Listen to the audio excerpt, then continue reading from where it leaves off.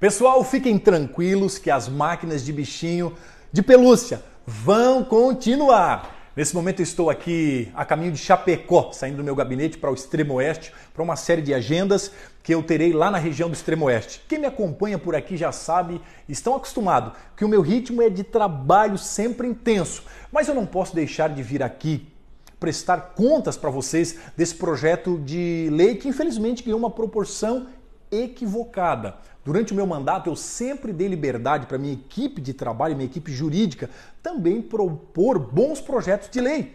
E esse projeto de lei de proibição das máquinas de bichinho de pelúcia foi proposto pela equipe com base em diversas denúncias de fraudes e também laudos do Instituto Geral de Perícias provando fraudes nessas máquinas. A intenção da equipe sempre foi boa, foi de coibir a fraude. Entretanto, uma das minhas bandeiras de trabalho sempre foi a liberdade econômica e também a liberdade individual de cada cidadão escolher o que ele quer fazer com a sua vida, inclusive com o seu dinheiro. Portanto, quando eu soube que esse projeto tinha sido protocolado, estava tramitando aqui na casa, eu solicitei imediatamente a retirada de pauta, exatamente porque vai contra os princípios que eu acredito, que eu defendo, que eu brigo.